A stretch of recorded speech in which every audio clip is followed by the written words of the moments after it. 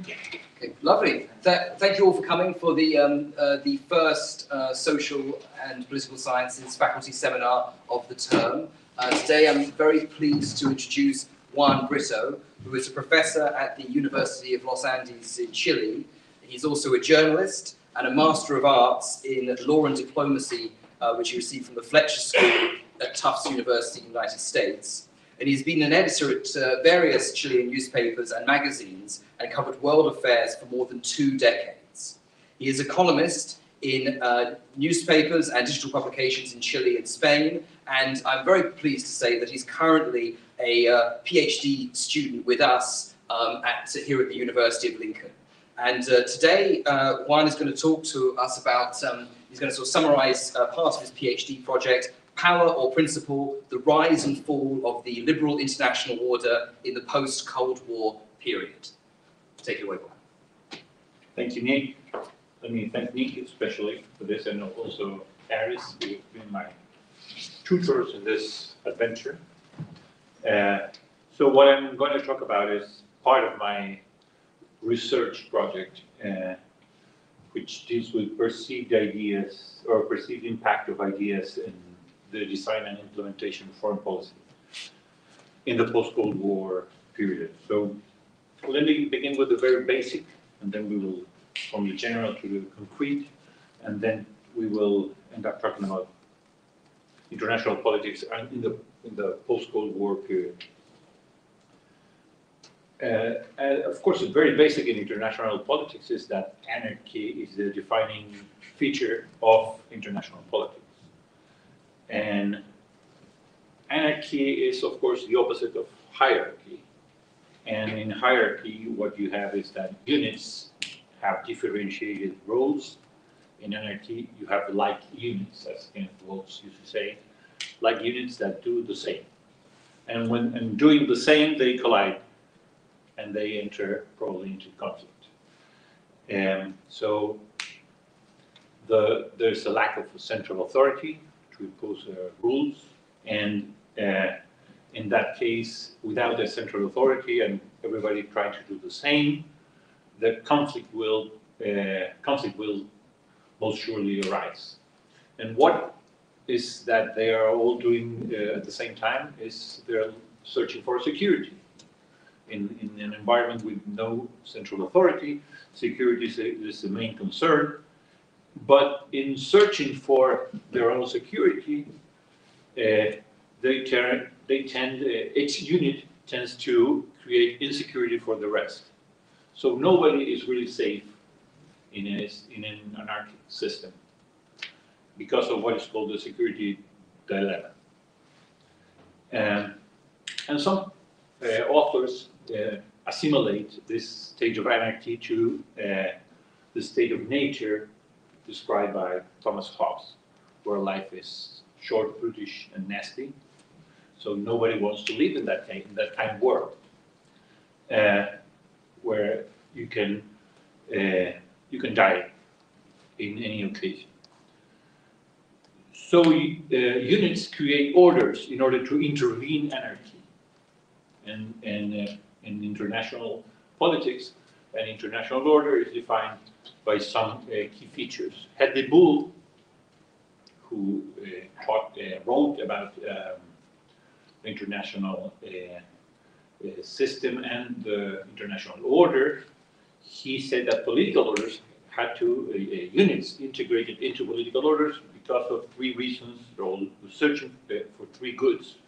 And he taught about life. He said any uh, unit would like to, of course, survive. And this is why they abandon anarchy and try to integrate into an order. They try to continue possessing what they possess. Uh, and this is why he talked about property. And they want everybody to uh, be true to their work or accept the commitments that they had uh, come into in order to create uh, the order. So, and that would be truth. So he said, any unit that wants a political order will try to uh, uh, ensure that they, they keep life, they get truth, and they get uh, uh, order, sorry, um, program. So these are the three uh, conditions that anybody who enters into a political order is seeking. In terms of, of international order, he added some uh, features. As he said, well, an international order should seek peace among the, the units, should um, try to uh, should respect sovereignty of each unit, and uh, also should try to self-preserve itself. So the order wants to promote peace, respect sovereignty, and uh, self-preserve itself. Henry Kissinger, who has studied this also, adds another feature. He says a, a order must look for legitimacy. So everybody is happy and accepts the order as legitimate.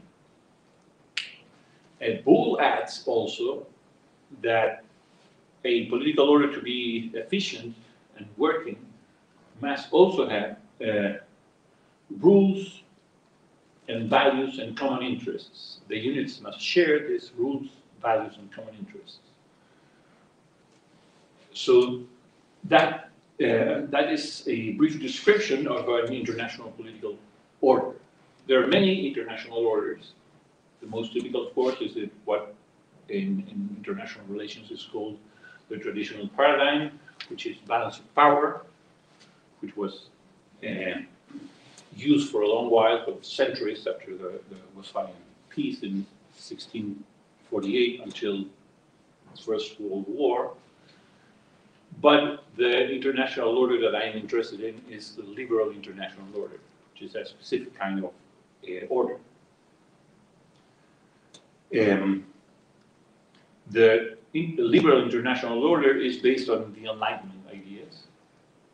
It was, uh, it has been uh, implemented in a process. I would say probably the, the first one to, who started to implement it were, were the British in the 19th century, uh, especially in the economic realm, in the in what we might call the, the trade realm, trade trade laws, corn laws, etc uh, and free, freedom of navigation were uh, key issues for the this proto uh, liberal international order that was created by the by the British in the 19th century. But who really implemented it and, and were dedicated to it were are the Americans in the 20th century.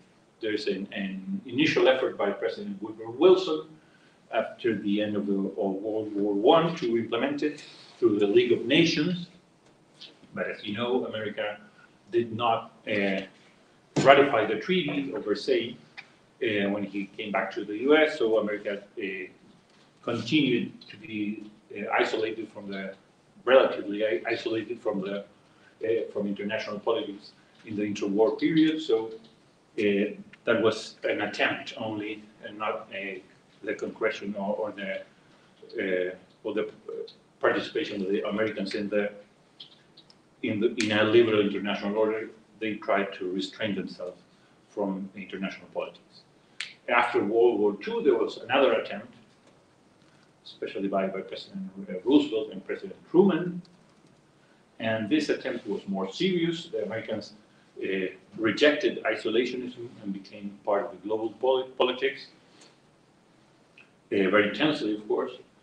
And of course, they did intervene in world affairs against the Soviet Union, and they implemented some sort of in, a liberal international order, but it was uh, restricted by two reasons. One, restricted to Western countries by two reasons. One, of course, the Cold War. Their priority was to fight or to contain the Soviet Union during the Cold War. And second, because of the Cold War, they had to betray the idea, the, the liberal internationalism ideas, in supporting um, dictatorships around the world since uh, they opposed, these dictatorships were opposed to the Soviet Union. So the priority was the security issue with the Soviet Union and, and the US uh, promoted a liberal order but restrained to Western countries in, in Western Europe and also in Japan. Now, uh, the, the, the success stories of the liberal international order in the post-Cold in the post uh, Second World War period are uh, Japan and Germany. And Italy probably as well. If you can say that Italy is, uh, is a success story at all. Uh, and then after the, the end of the Cold War, uh, the Americans had to, to make a choice. They had a choice in front of them. Should they go back and restrain themselves and take the peace dividend and um, worry about their own problems, or should they uh, go full speed, uh, full speed ahead with the Liberal International Project? And there was a, a key election, I would say the key election then was the 92 election, where you have all these choices on the table. You had a, a um, President Bush and, and candidate Clinton, who were for the international solution, especially uh, uh, President Bush. And you had Ross Perot, who, who was a, an independent candidate. And also you had in the, in the Republican primaries, you had Pat Buchanan, who was a challenger to President Bush. And they, Buchanan and Perot, expressed what we would call the, today the, the populist solution and the isolationist solution. So they, they said we shouldn't have free trade, that was Ross Perot. We shouldn't have uh, become involved with free trade, and Buchanan said we should isolate ourselves back into the American frontiers and do not take, uh, be in charge of the world. We shouldn't be the policemen of the world. But of course they lost, and Clinton won, and after the, the in, during the post-Cold War period, what you had is that the U.S. went uh, um, intensively for the liberal international project. And um, liberal international project or liberal international order can be described as a grand strategy. A grand strategy is a, a set of overarching premises that link ends, ways, and means. And um, this is a sort of big idea from which policies and decisions are derived. And concrete solutions are designed, but regarding this great idea. So international liberalism is that kind of grand strategy. And of course, uh, international liberalism was the grand strategy of the US during the post-Cold War period. Uh, the, so this is the idea that inspired concrete policies. Uh, G. John Ikenberry, who probably is, is the foremost uh, scholar, most important scholar dedicated to study and to promote as well uh, liberal internationalism, has established a, a set of five ideas that shape liberal visions of international order. He says, a liberal international order must contain openness and trade, free trade, of course, uh, rules and institutions. So this is why hearing about the rules-based world order. Uh, liberal democratic solidarity, including the idea of democratic peace, uh, cooperative security, and progressive social purposes, because liberals do think that progress, that, that history moves towards progress. So you have to uh, promote those, those ideas as well. What you don't see here, except for cooperative security, is the idea of power. So liberals believe that these conditions should be enough in order to tame anarchy and in order to provide peace, as we said, uh, Bull required for an international order, peace must be, sovereignty must be respected, uh, and, the, and the order must self-preserve. So with this set of ideas and conditions, uh, Ikenberry and, and, and Liberal Internationalists who say this is enough. We don't need power, really. Actually, uh, this was even uh, said by uh, Hillary Clinton when she was a the Secretary of State of the, of the United States. She said, we will forget about real politics. We are dismantling real, uh, real politics. realpolitik. And, and uh, what we are now, we, we don't care about uh, national interests anymore. We have common interests. And we're pushing towards globalization, which is to create this whole world market. And we are pushing uh, ahead in a world that is so integrated that national interests are not uh, the principal preoccupation of, of states. So what you have from Clinton to Obama, uh, with, of course with George W. Bush in, in, in between, is that they used design, the U.S. designed and implemented uh, these policies with uh, regarding this great idea with this grand strategy of liberal internationalism and policies that promoted this idea. And this was, for example, Clinton, you have uh, Clinton established as, as, a, as a purpose of his um, foreign policy, democracy, democracy enlargement. And uh, of course, he, he was behind the compression and the creation of, uh, of the World Trade Organization in 1995. He promoted the, the, the accession of China to World Trade Organization as well.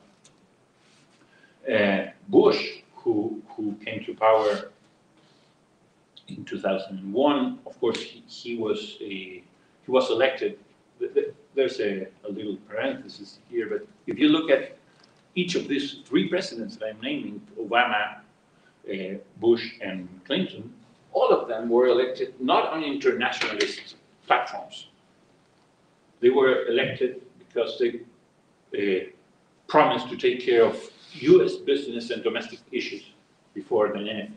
You can remember the, the it's democracy stupid lemma or, or um, a phrase of the Clinton campaign. Bush was, was a, a governor of Texas. He had barely any international experience, and he, he, he was famous, or he, he became famous in the US because he introduced educational reform. And of course, Obama came to power essentially to, uh, to deal with the economic crisis in 2008. So uh, all of them were, although they, their platform was uh, domestic, they uh, pushed for this liberal international uh, order anyway. So Bush, who came to power preoccupied mostly for domestic issues, had to deal with the 9-11 attacks. So his agenda was transformed. But even though he, uh, he concentrated on the war of, on terror, uh, he pushed within the war of terror for what he called the freedom agenda. And he tried to create uh, democracies where never had been a, a democracy before in Iraq and Afghanistan. And he, he insisted that, uh, for example, Iraq would become a sort of a shining light in the hill for the rest of the Arab countries, an example that the, the rest of the Arab countries could not resist when they realized that, that a democracy was possible in, in Iraq. They wouldn't resist and they would become uh, democracies as well. And in the Freedom Agenda, in his uh, inaugural uh, speech in, in 2005 for his second administration, he declared uh, that the U.S. would oppose anywhere in the world uh, uh, the development of, of uh, tyrants, tyrannies. So tyranny was the, the, was the enemy, and the U.S. would oppose and and depose the tyrannies everywhere in the world and promote democracy. And of course, Obama, especially in the first in the first uh, in his first administration, because the second administration of Obama is more a transitional one towards a different world, I would say, uh, also had this uh, this um, liberal internationalist approach to foreign policy. This approach was evident, for example, in his Cairo speech. He went to Cairo and delivered a speech to, to offer uh, the Muslim world a new, a new deal.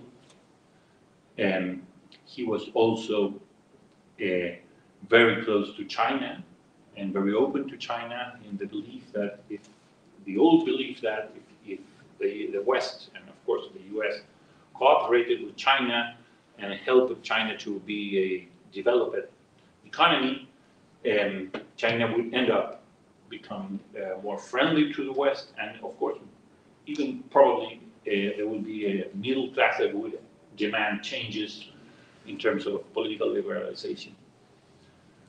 And of course, he insisted in creating a democracy in Afghanistan, although he withdrew the, the, the American troops from from, uh, from uh, Iraq.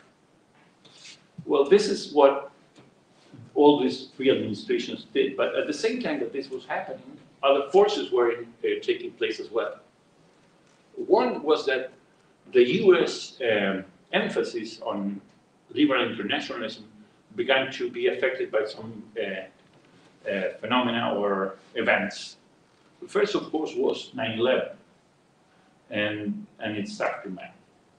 The aftermath of, of 9/11 was the Iraq invasion, the Afghan, first, first of all, the Afghanistan invasion, Iraq invasion, the war on terror, and the way in which the war on terror was fought, which was a, we can say, a dirty war with, uh, with tortures. I don't know if you remember, perhaps you're, I'm the oldest in the room, so I guess uh, I remember better than you, but, but uh, the, the Americans started to, to debate if waterboarding was or, was or wasn't a, a form of torture. And there were secret prisons around the world where prisoners of Al Qaeda were taken to and interrogated very harshly. And all this started to decrease American prestige and, and American moral standard as a world leader. Um, and so at the end of his government or administration, President Bush was called a toxic Texan by some people. Uh, so the American moral standard had fallen. And of course, Iraq and Afghanistan, uh, the wars in those countries started very well for the Americans. They could depose the, the Taliban in Afghanistan.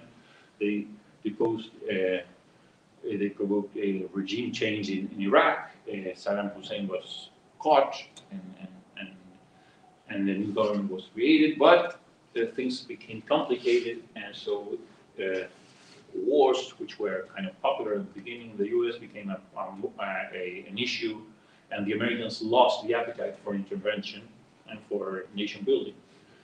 And at the same time, what Fareed Zakaria has, has called the rise of the rest was taking place.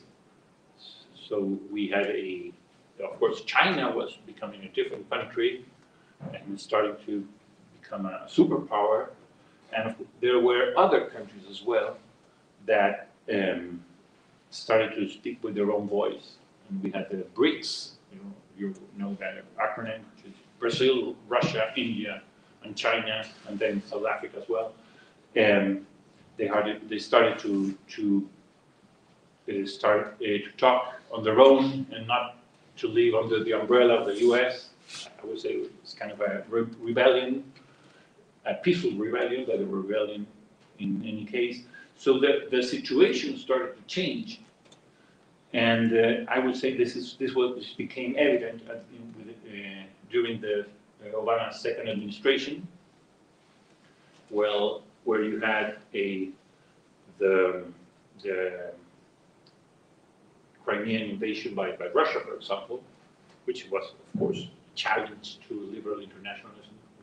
You have the, the the arrival of power, to power of, of Secretary General Xi Jinping in, in China, who had a new and different approach to the Chinese status in the world.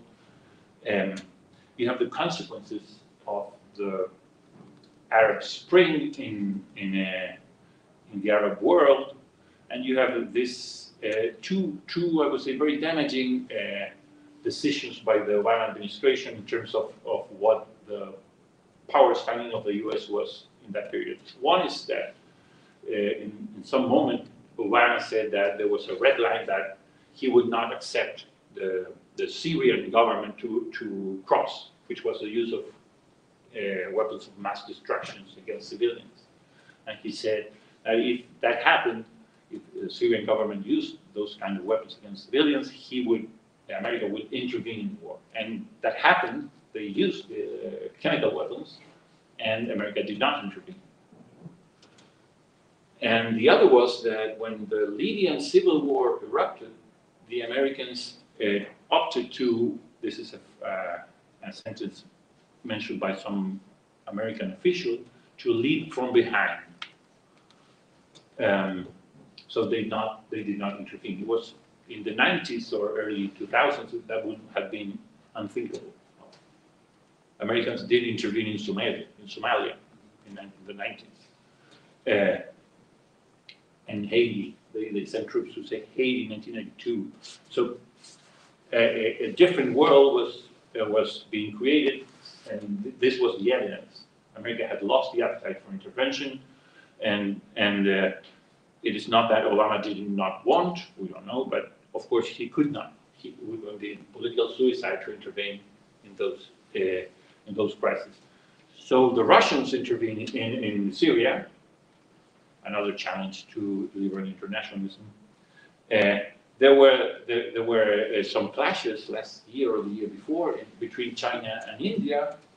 You have India now becoming a, a, a regional superpower in, in their part of the world. You have Japan starting under former Premier uh, Shinzo Abe, starting to discuss and to implement reforms to their pacifist uh, uh, constitution in order to be able to send troops abroad. And there's some level of debate today in, in Japan about do they need uh, to develop their own um, uh, nuclear weapons because of the Chinese and the North Korean uh, threat.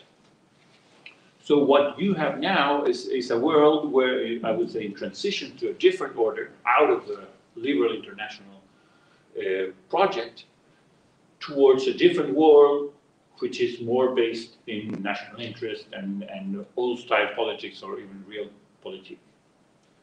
So uh, the, the issue that hangs around this, this, this uh, liberal international order is what motivated it and why was it implemented and how was it implemented.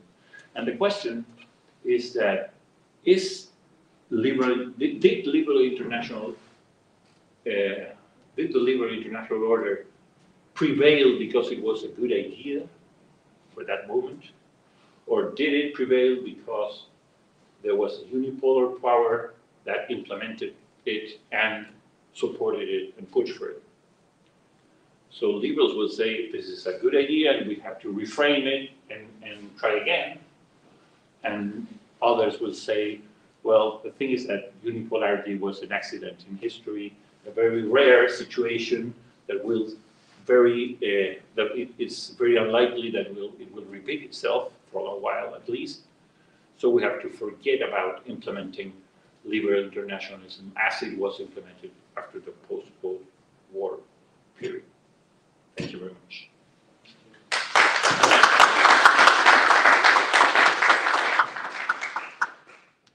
Fantastic. Um, and uh, uh, so we can take questions uh, both on Teams, hopefully, if, um, if people on Teams are watching through the um, the YouTube um, thing and, and also from people in the room. Um, so uh, thanks very much for giving us a lot to think about. Fantastic. Uh, thanks for the talk. Uh, my question is, how do you see the relationship between political power and economic power? When you see, when we think about international liberalism, a relationship? What I mean is that in the last two decades, China and Russia economically has grown and is this one of the reasons international liberalism failed, or as an ideology for us, room to be failed? How do you see the relationship between political power and economic power? Well, in the, in the liberal project, of course, there is a relationship. Not, not in terms of, of real, realpolitik, you see. They, they go hand in hand because what you're promoting is freedom at the end, and freedom and progress, which is the, the idea that history has a sense and that history is moving in the, in the sense of liberty or freedom and the, uh, the idea of progress. So they go hand in hand in terms that democracy should, uh, is a sister and, and, and almost an inevitable companion of free markets, or vice versa, we'd say.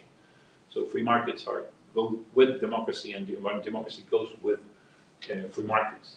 So, and of course, if you believe in that, and, and of course there, there are numbers that would justify that as well. During a period, there was a huge economic growth associated with uh, globalization and, and free markets and democracies, or at least liberalization. So in that sense, they go together.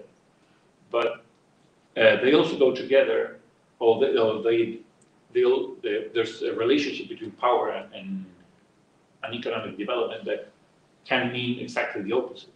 In the case of China, for example, the liberal uh, assumption was that China would become more uh, open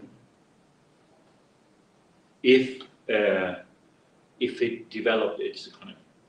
Uh, and of course, you have this all these uh, development economists and, and theorists. I would say Seymour uh, Lipset, Lipset. Lipset, and uh, of course Samuel Hammond, Huntington as well. They would say when you create, when you have a rapid uh, uh, economic development, um, what you create is a, is a middle class, and that middle class will start sooner or later demanding uh, political rights. So what happened in China was exactly that. You were having a very strong uh, um, economic uh, growth, and then you would have, according to these theories, you would have a, a growing middle class that would demand reform and political liberalization, not necessarily democracy, but at least some sort of political liberalization. The Chinese had that, but they cut that in 1989. And they decided not to have, uh, and so there are others that say that there's an implicit pact between the Chinese people and the, and the Chinese Communist Party who say, well, you give us uh, a better quality of life by economic growth, and we don't demand uh, political liberalization. But anyway, what has happened in China is that economic growth has led to a, a I would say, a, a more conscious uh, superpower. And what they are demanding now is respect. And they are demanding their own place in the world. So economic growth for them meant power. And they, they, they, they feel now, and if you listen to what uh, Secretary General Xi Jinping said on Monday, I think, what you hear is a superpower saying, we will not be fooled around by anyone. We, we need respect, we won't intervene in, in others' uh, uh, domestic issues, but we want respect, we want uh, Taiwan back, it's, our, it's part of our country, and, uh, and we will fight for it, even we might fight for it if, if somebody challenges that. So economic power uh, and economic growth meant for, for the Chinese uh, more self-assurance and, self-confidence in, in, in, behaving as a traditional power with, with that promotes its own self-interest. And in Russia, you might say the same uh, with with uh, with Putin, and, and, he had a very good economic run because of the commodity um, super cycle and he, he amassed a lot of money. And, and he became very popular because of that, and, and he, he has gained self, and Russia has gained self-confidence as well to behave as a, as a, um, as a superpower, a traditional superpower. So you might say that for a liberal, this shouldn't have happened. From, from a liberal and a develop, develop, develop, developmental, developmental uh, point of view. We, have a couple of questions uh, that have come in uh, from remotely as well, so we can we'll, do at least one of them and then see what um, what's going on over there. So it just yeah, we've got one from David Hughes. Um, how do the concepts of capitalism and imperialism fit into your assessment of the liberal international order? So I think definitely relates a bit to, to Barish's uh, uh, question. So perhaps you talked a bit about free markets. So where do you see imperialism, especially with your history of Britain, fitting in uh, into your model? Well, the, the, the, of course, it is related. And in some, if, if you look at, especially from a Marxist point of view, you, what, you, what you would see is imperialism, pure. Simple. And of course, in the British period, and all this thing of the white, burden, white man's burden and all of that kind of stuff, uh, the, the British thought that they were carrying also the civilization towards the, the colonies. And of course, the Americans as well. Uh, the, American, you, you, the, uh, the American national myth, uh, they see themselves, honestly, I would say, as a, as a benign power, a power that, that not only uh, um, promotes democracy, not only promotes its own national uh, um, self-interest, but also uh, has a universal recipe for success. Mm. And of course, uh, I, I, would, I would say that they, this is funny of the Americans, and this is why uh, Henry Kissinger says that America is, a, is an ambivalent superpower. Because at the same time that they promote principle, they're promoting national self-interest. And, and they live very peacefully with that. They don't, they don't uh, ask themselves too much questions about this. They, they, they, I, I think, and he thinks that they, they really believe that, that they're promoting their benign society, a benign superpower. Uh, but if you look at it from a, from a different point of view, or especially a Marxist or neo-Marxist point of view, it's pure and simple imperialism, and Americans behaved imperialistic, imperialistically during that period, uh, and imposing their own recipe uh, for their own sake and for their own good in order to exploit the, the colonies. Let's see. Let's take another question from the room. Um, yeah, I just wondering if you thought about the sort of like breakdown of the liberal order in the context of issues that I suppose are like global in nature, like climate change and biodiversity loss. Like on one hand, maybe you had that like liberal consensus, it'd be easier to like find a way forward on global issues, but maybe it's more like anarchic competition of national interests. Obviously, like nations see that like tackling climate change in their national interest, maybe it's easier to find a way through there. Yeah, this is a big issue for, for liberal internationalists. They would say that, of course, they are better prepared to provide these goods, for example, to promote uh, change in terms of, uh, or cooperation in terms of dealing with the uh, global um, um, climate crisis, for example. So they would say, we are the ones that can provide that. And of course, the, the Paris uh, agreement and the Kyoto agreement and all, all, that kind of stuff came through during that period. It would, I would say, it's much more difficult today. If you try to push for those agreements today, it would be much more difficult because national interests of the countries will will uh, play a much more important role in negotiations and probably would make them impossible.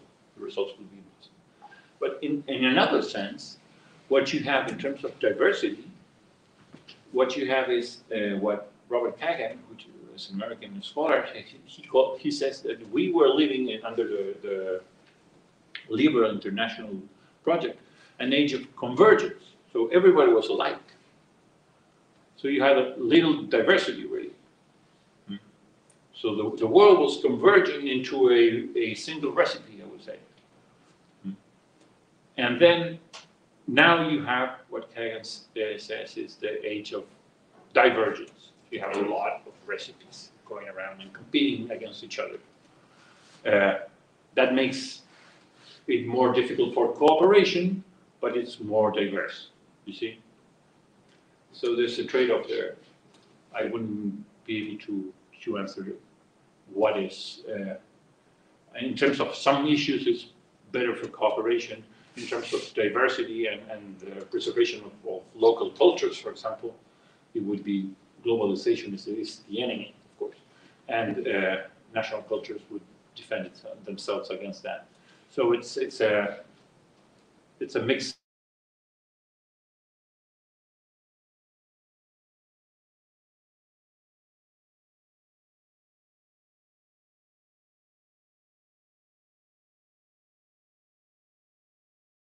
Russia, China, Iran, and North Korea is democracy, especially on your analysis, an endangered concept going forward?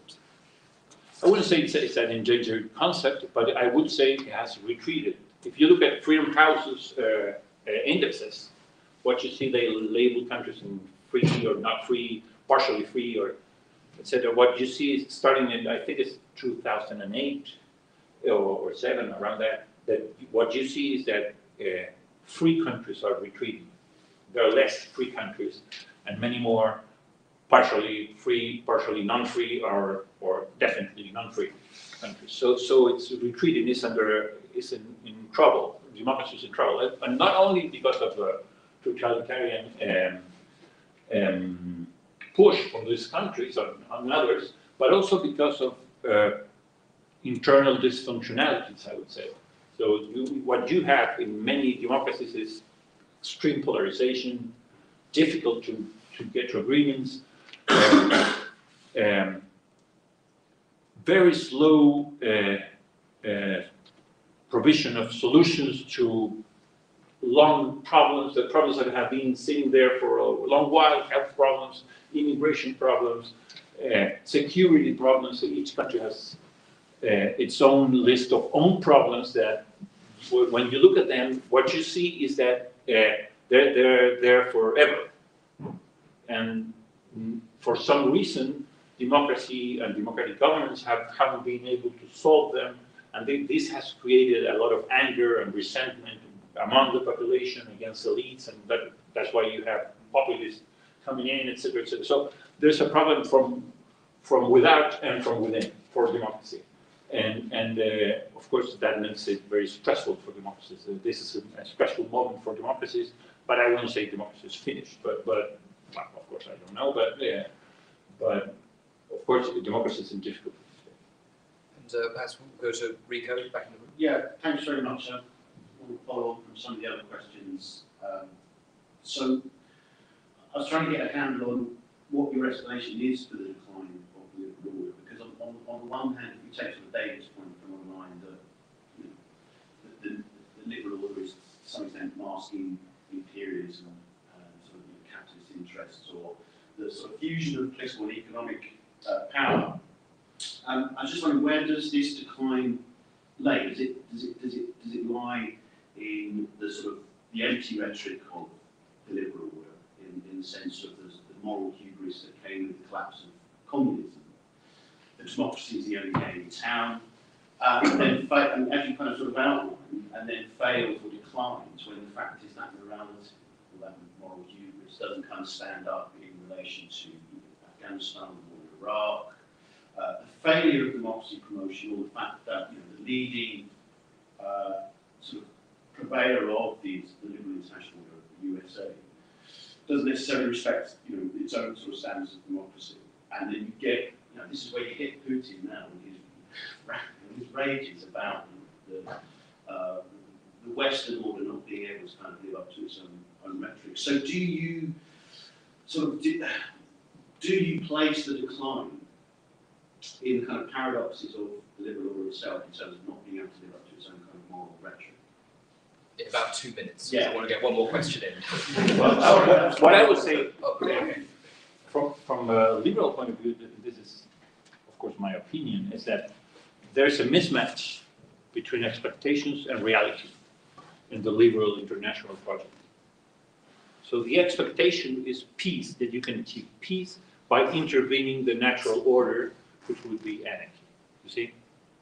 You can intervene anarchy and defeat anarchy. Um, and the, the, the misunderstanding here is probably that what really uh, helped or helped to create the conditions under which um, the liberal international project was feasible was a singular and particular distribution of power within the system, which is unipolarity. So what you should resort to explain the, the, the success or the, the success for a while of the liberal international project is unipolarity, not the good ideas of um, the liberal project that were around for a while, actually. And when the conditions ceased to exist in order to have a unipolar power, the liberal project started to crumble. So what you should look, I think, is that is the distribution of power within the system and not the good ideas or the grand strategy. But what they did is they, the, what liberal uh, internationalists uh, believe is that they had found the solution to human problems. And this is what Fukuyama says in his end of history article and book. Okay, One, we have, we have four minutes left, and I think two questions that I'd be very keen to hear, so, um, but that's a good, that's a good, good start. We can uh, have coffee afterwards anyway. So, uh, Sam, would you, would you like to, uh, Uh, Yes, um, and thank you for your, um, for your talk. I think um, my question relates and picks up on some of the strands of earlier uh, questions. I was, um, I was thinking it might be a bit too bold to ask, but as there- all the other questions have been bold, I'll, I'll kind of go with it as well. Um, I wonder if even using and talking about nation states is relevant anymore, whether we're actually talking about, need to with a new discourse or new terminology for the, the direction of travel in, in some of the issues that you're, you're discussing. That actually nation states aren't so intellectually coherent as, as to make them useful in analytic terms. It's an open kind of question. Yeah, it's, it's a typical question, I would say, uh, from, from the seventies on. Multinationalism and of stuff, or transnationalism. Um, I think that yes, and, and, and I would say that there's some evidence, recent evidence about that.